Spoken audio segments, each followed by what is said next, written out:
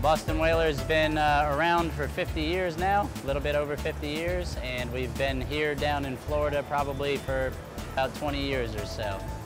Uh, the company actually started in Boston. Uh, we use adhesive weld-ons when we do our capping, so deck to boat mating.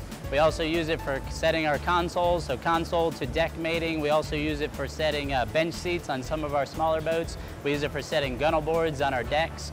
So a lot of uh, adhesive applications. Also buckets, we use live well buckets. When we set those to our decks, we use weld-on adhesive, and we also use uh, weld-on adhesive in our lamination process. So many, many different applications throughout the plant for using weld-on. So what we're gonna see is the deck flying to the hull, and we're gonna put the two points together, and you're gonna see the, the weld-on being applied in different points throughout the uh, inner liner of the hull, and you're gonna see what makes a whaler a whaler. Uh, the main one is the easy, uh, the ability to use it easily. Um, it comes out of the machine really nice. Uh, it's pre-mixed.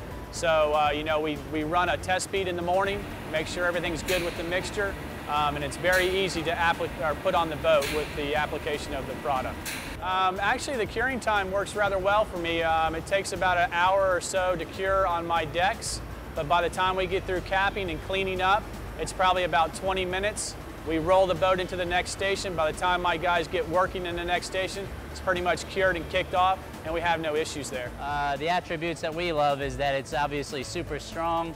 It uh, maintains its durability throughout the years and uh, it also is a good sealant from water. Our boats, we try to protect them from the water. Weld-On provides the ability to change curing times based on our needs and also the ability to recommend different products based on our needs. Many times we've had Weld-On come in and uh, evaluate some of our internal processes and determine the type of product we should be using in the application. They've been able to modify some of our curing curves and uh, really look at specific jobs and applications that we use here at Whaler and uh, tailor the product to what we need. So it's been a really, really good relationship from our end. Uh, anytime we've had any issue, I always send a representative down to take care of our issues with us.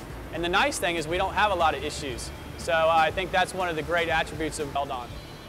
From new product integration to production and, and, and uh, really the whole gamut of, of building boats, really. It's been, been great.